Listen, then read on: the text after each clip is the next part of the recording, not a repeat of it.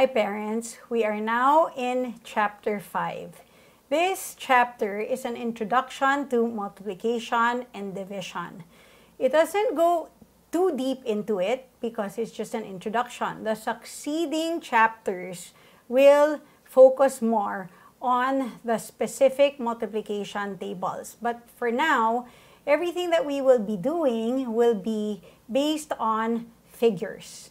Multiplication technically is number of groups times items per group equals total items. Okay, so for now, we will call this number of groups times items per group equals total items.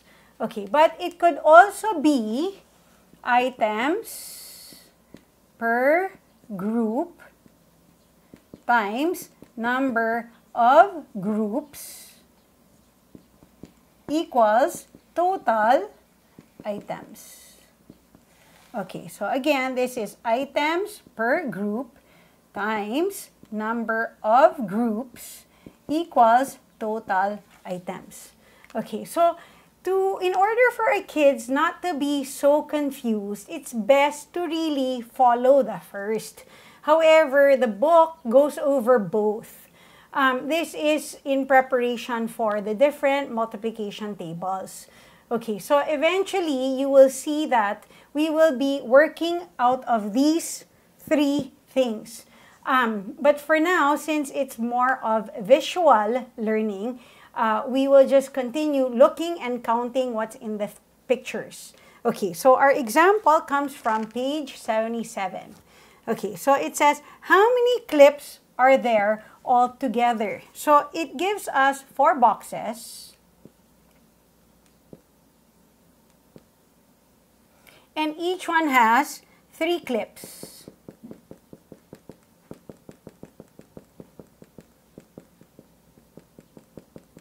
Okay, and then the question is this, it says blank plus blank plus blank. Okay, so we need to fill this out. So multiplication is technically a, repeated addition. So that's technically 3 plus 3 plus 3 plus 3. And therefore, at this point, what we need to have our children do is just to count what's inside the box. But in the next chapter, they need to be able to multiply it out already. So if we count, that will be 12 clips. Okay, so the multiplication version of that is number of groups. So that's the first, number of groups.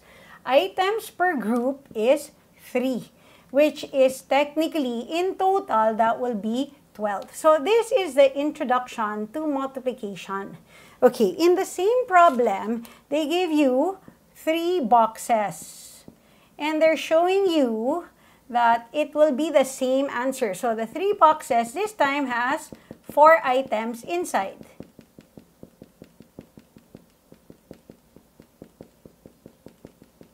Okay, so this is blank.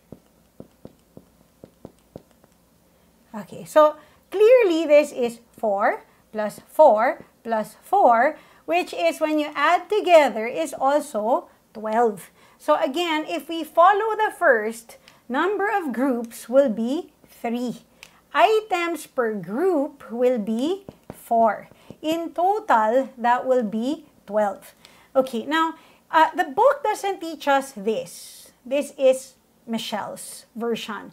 And again, if we start teaching our kids with this strategy, they will find it so useful. So for now, since it's all visual learning, it's okay not to use yet. But you want to start training the kids with the visual aid to be able to identify what number of groups are, items per group, and total items so that when there's no more pictures, they know what to do. That concludes lesson 1 of chapter 5. See you in the next lesson.